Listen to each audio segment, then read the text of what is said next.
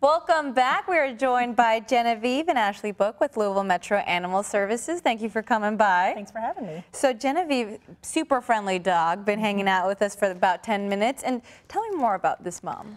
This little this little sweetheart came to the shelter about two months ago um, after being abandoned with two babies. Mm -hmm. um, she stayed with us and she was a wonderful mama.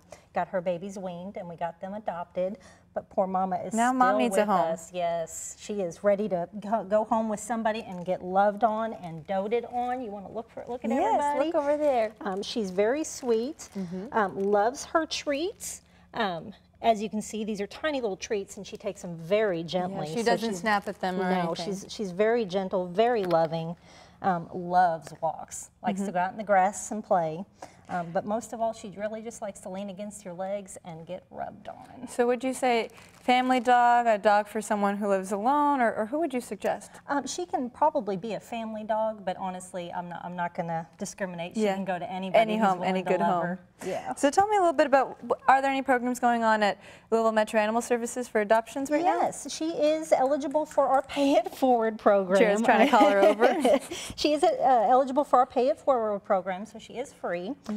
Um, she has been spayed, uh, microchipped, fully vaccinated, ready to go, including both flu vaccines. So oh, she okay. is ready so, to go home to somebody. And look how sweet. She's just wagging her tail there. Je Genevieve needs a home. Yes, she does. Two babies, her two babies have been adopted. yep, she's, she, she's ready to be babied herself. I see, no, too cute.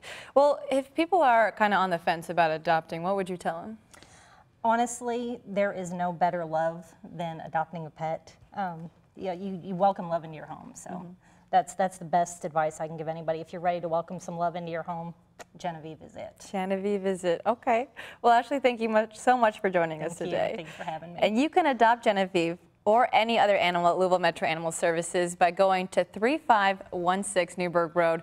They're open Tuesday through Sunday, noon to 6, or you can call them 473-PETS, which is 473-7387.